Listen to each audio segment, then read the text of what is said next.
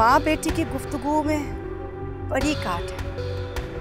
لیکن اگر تھوڑی سی واضح داری تم اپنی بیٹی کو بھی سکھا دیتی تو آج وہ اپنی ساس کے سامنے اس طرح غیر مردوں سے عشق نہیں لڑا رہی ہوتی۔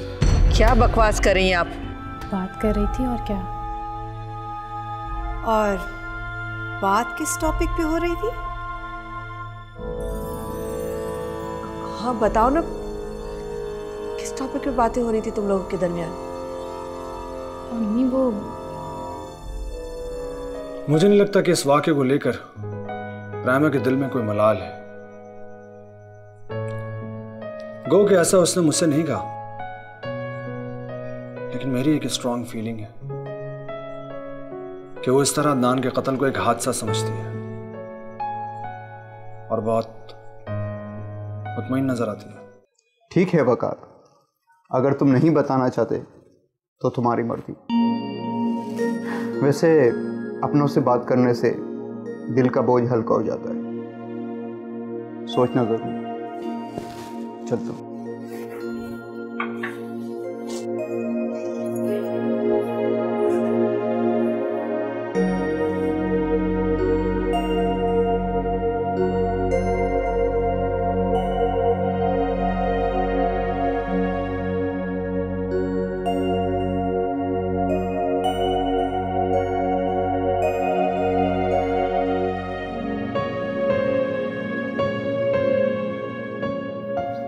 اچھا یہ بتاؤ کہ اتنی جلدی میں کیوں بلایا؟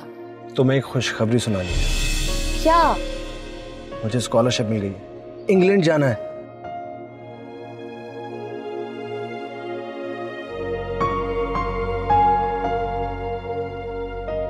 کیا بس آدیا تمہیں خوشی نہیں ہے؟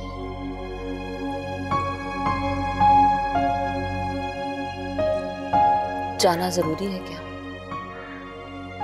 ضروری تو ہے۔ ہم دونوں کے فیوچر کے لیے۔ اور اگر میں کہوں کہ نہ جاؤ تو؟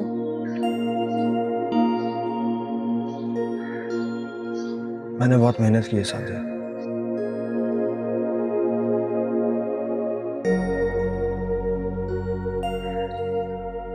جانتی ہوں۔ لیکن بکار ہمارا فیوچر تو یہاں ہے پاکستان میں۔ بابا امریکہ میں ہوتے ہیں لیکن میں یہاں پر صرف تمہارے لیے رکی ہوں۔ دیکھو سادیا تم نے بہت اچھی لائف گزاری ہے۔ اور میری خواہش ہے کہ میں تمہیں اس سے بھی اچھی لائف دے سکوں۔ مجھے تمہارا ساتھ چاہیے۔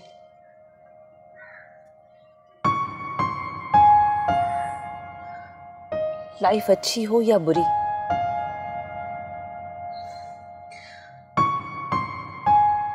میں تم سے کبھی شکایت نہیں کروں گی۔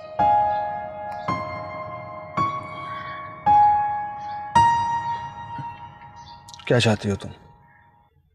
میں نہ جاؤں۔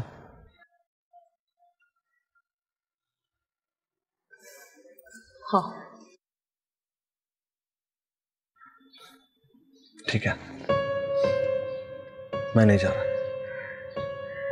ہیپی کیا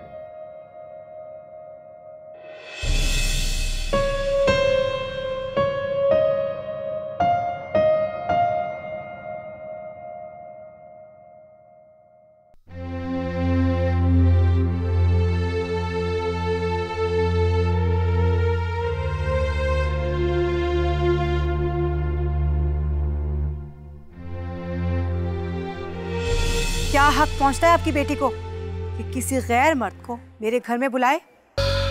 تو جا کر پوچھئے نا اپنی بیٹی سے کہ کل رات کو وہ ساتھ کے ساتھ بالکنی میں کیا کر رہی تھی۔ کل کلا کو لوگوں کو پتا چلے گا تو کیا عزت رہ جائے گی ہمارے خاندان کی؟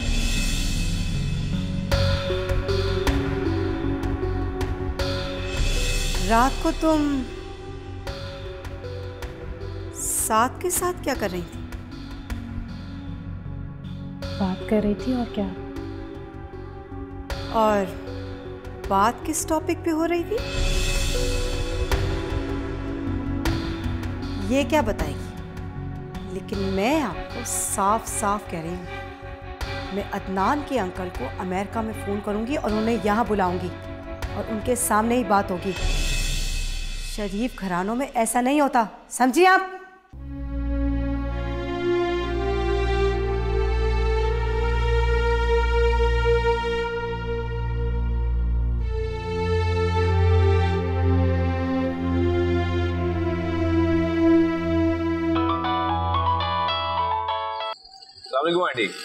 وعلیکم السلام۔ ساتھ تم رات کو مجھ سے ملے بغیر چلے گئے؟ ایکچولی آنٹی کسی کی کال آ گئی تھی اس لیے مجھے جانا پڑا۔ اچھا۔ تو اب پھر کب چکر لگاؤ گے؟ آنٹی جب آپ کہیں گی میں آ جاؤں گا۔ ساتھ میں نے تمہیں کہا تھا نا کہ جب تمہارا دل چاہے آ جایا کرو۔ یہ تمہارا اپنا گھر ہے۔ آنٹی روز روز آنا اچھا نہیں لگتا۔ ویسے بھی بیا بھی اس گھر میں رہتی ہے۔ ساتھ کل مجھے تم سے ضرور ملنا ہے۔ تم ضرور چکر لگا لینا۔ کچھ ضروری باتیں کرنی ہے جی ضرور آنٹی لیکن یہ بتائیں خیریت تو ہے نا؟ سنا تو ٹھیک ہے؟ ہاں ثنا بالکل ٹھیک ہے۔ بس ثنا کے متعلق ہی بات کرنی تھی تم سے۔ جی آنٹی میں ضرور آ جاؤں گا۔ خدا حافظ۔ اپنا خیال رکھنا۔ خدا حافظ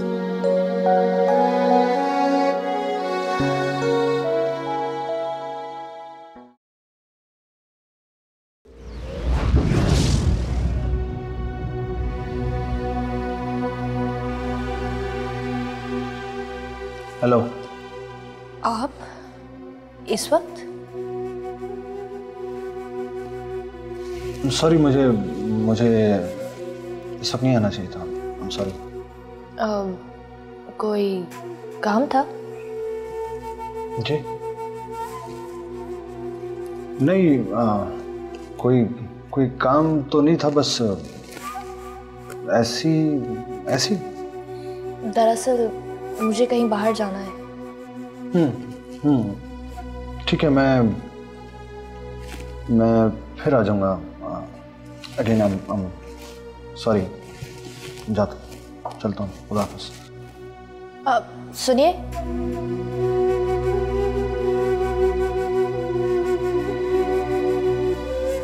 آپ اتنی دور سے میرے لیے آئے ہیں تو مجھے آپ کو ویلکم کرنا چاہیے۔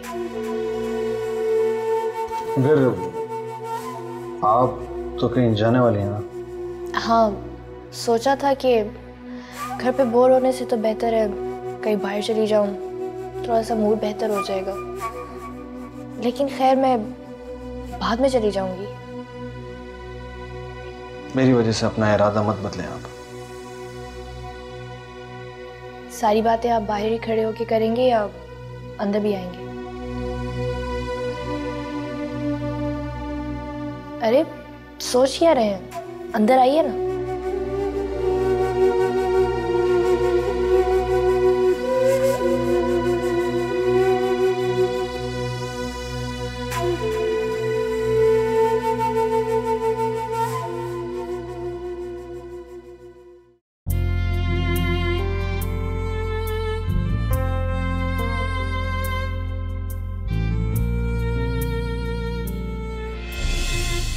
مجھ سے شادی کرو۔ گی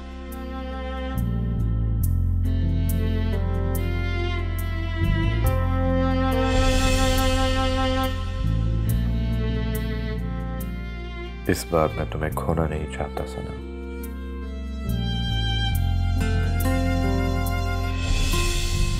رات کافی ہو گئی ہے۔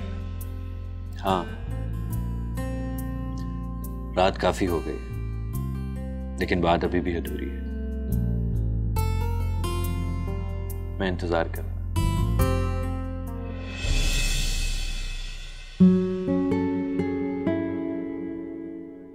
اس ادھوری بات کو اب پورا ہونا ہوگا۔ میں تو ہمیشہ سے جانتا تھا کہ میری زندگی کے تمام راستے تمہاری طرف جاتے ہیں۔ لیکن تم ایسے راستے پر چل پڑی جس کی کوئی منزل ہی نہیں تھی۔ پتہ نہیں۔ پتہ نہیں تم کیا سوچ رہی ہوگی۔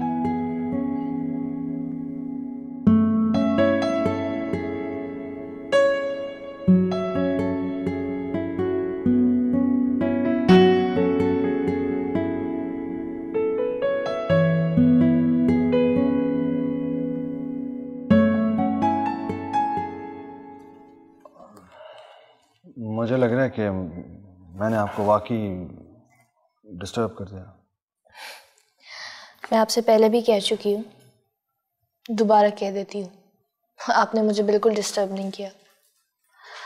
ہاں بہرحال آپ ضرور ڈسٹرب لگ رہے ہیں۔ میرے آنے کی کوئی خاص وجہ بھی نہیں تھی۔ اس لیے شاید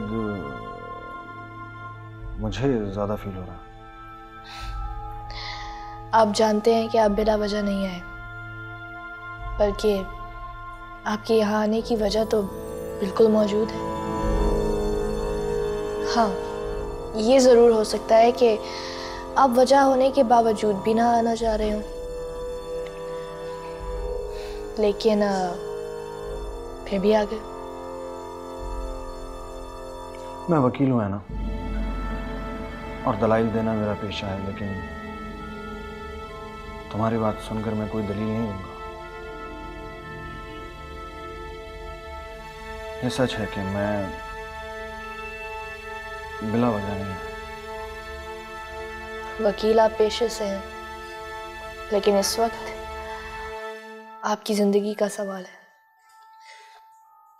مجھے لگتا ہے آپ کے اور میرے حالات میں بس ایک ہی فرق ہے۔ آپ کی اور سعدیہ جی کی شادی ہوئی تھی۔ جبکہ میرا اصرار کرنے پہ بھی جمشید نے مجھ سے شادی نہیں کی۔ لیکن یہ ایک فرق کوئی معنی نہیں رکھتا۔ ہم دونوں ایک ہی جگہ پر کھڑے میری اور سعدیہ کی شادی بھی اس رشتے کو مضبوط نہیں بنا پائے آپ بتائیے۔ میں آپ کے لیے کیا کر سکتی ہوں؟ کہیں سے پتہ چل سکتا ہے سعدیہ کا۔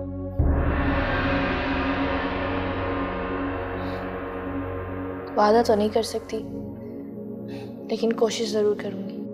اچھا۔ ہے ویسے بھی وعدے کا پاس نہ کیا جائے تو دکھ زیادہ ہوتا۔ اور اگر کوشش کامیاب ہو جائے تو خوشی بھی دو گنا ہو جاتی ہے۔ کافی پیجیے نا۔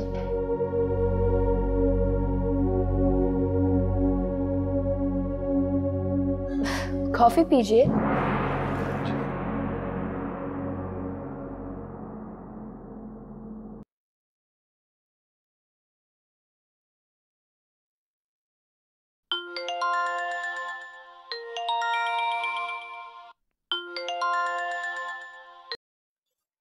ہلو مسز جعفری سوری کون مسز جعفری آپ مجھے نہیں جانتی لیکن میں آپ کو جانتی ہوں۔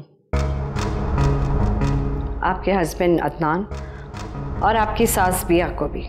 مجھے فون کرنے کی وجہ؟ یہ سمجھ لیں کہ میں آپ کی دوست۔ ہوں صاف بتائیے بات کیا ہے؟ میں آپ سے ملنا چاہتی ہوں۔ میں اجنبی لوگوں سے نہیں ملتی۔ آپ کے فائدے کی بات ہے۔ کیونکہ بیا جیسی مکار عورت پھر آپ کے گھر میں داخل ہو گئی ہے۔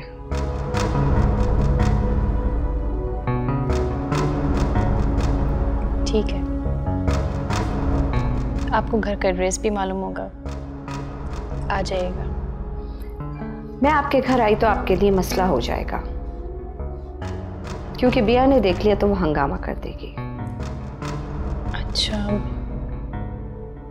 تو کہاں ملنا ہے؟ ایسا کریں میری طرف آ جائیے یا پھر کسی ریسٹورینٹ میں مل لیتے ہیں۔ کب آنے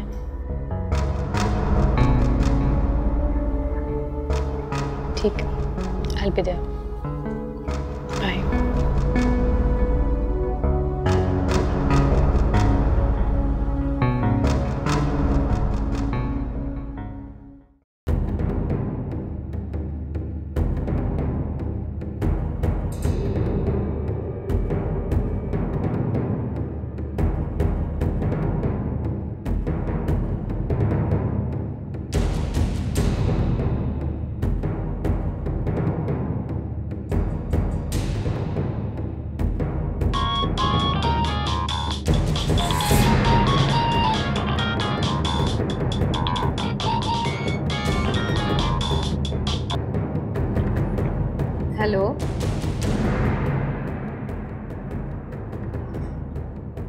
Sana.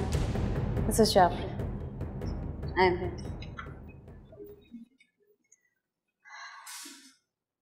بہت دیر کر دی آپ نے میں آپ ہی کا انتظار کر رہی تھی اتنی دیر سے میں بس یہ سوچ رہی تھی کہ پتہ نہیں مجھے آپ سے ملنا چاہیے بھی کہ نہیں اب آپ آ ہی گئی ہیں تو مجھے یقین ہے کہ آپ مجھ سے مل کے مایوس نہیں ہوں گی کہیے کیا کہنا چاہ رہی تھیں آپ؟ میں بیا کو بہت عرصے سے جانتی ہوں۔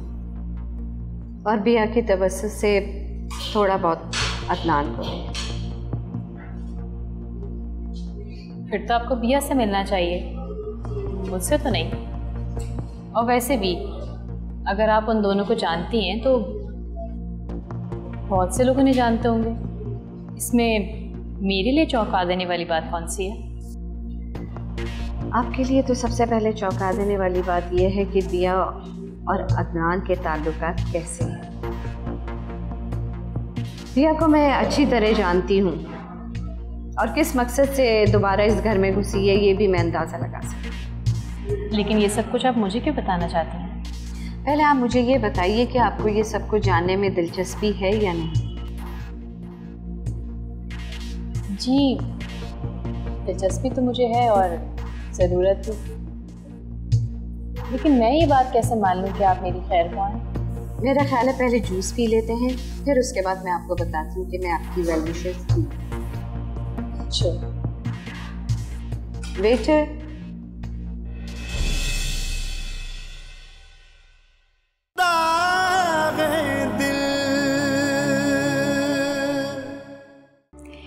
میں یہاں پر آپ کو آپ کی اوقات یاد دلانے کے لیے آئی ہوں۔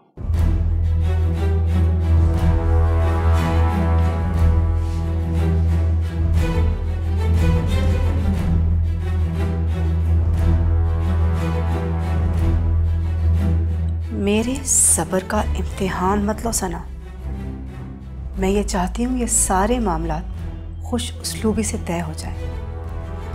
لیکن مجھے تمہارے ارادے کچھ ٹھیک نہیں لگتے۔ اتنے یقین کے ساتھ کیسے کہہ سکتی ہوں کہ میں تمہارے بارے میں سوچ رہا تھا؟ یقین کرنے کی کوئی وجہ نہیں ہوتی۔ میرے دل نے کہا میں نے مان لیا۔ دل کی مان کر اکثر دھوکہ ملتا ہے۔ کیا کروں؟ دھوکہ سہنے کی عادت ہو گئی ہے۔